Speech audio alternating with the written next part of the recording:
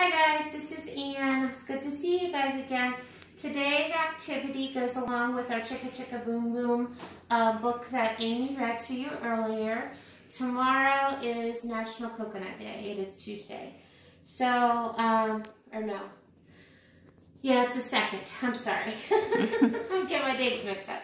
At any rate, what I would like for you guys to do for your activity is um, you can either have mom and dad cut some construction paper out for you and make like a um, coconut tree, or you can, hopefully you might have a whiteboard or a magnetic board at home and you can draw a coconut tree.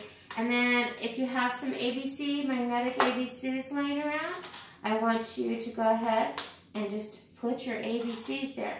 Now, if you want to go ahead and write your name out, I'm okay with that too.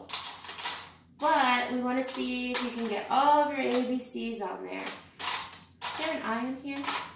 Mm -hmm. Oh, I already used it.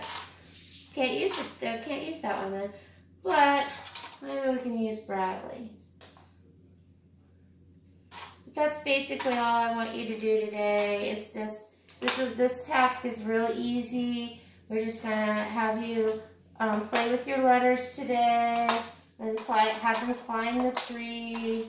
Um, and if you don't have any magnetic letters or you don't have any kind of letters at home, please give Miss Wasserman a ring and we'll bring something out to you.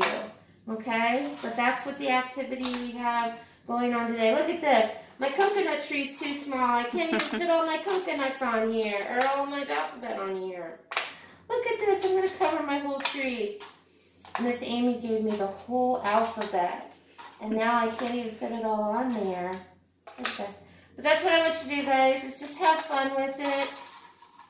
Kind of, um, you know, recognize that this is an H, and we put an H on there. This is an F, we'll put an F on there and kind of make the sounds with them too. Moms and friends and dads and friends, whoever's working with you guys, okay? Love ya. Talk to you later. Bye.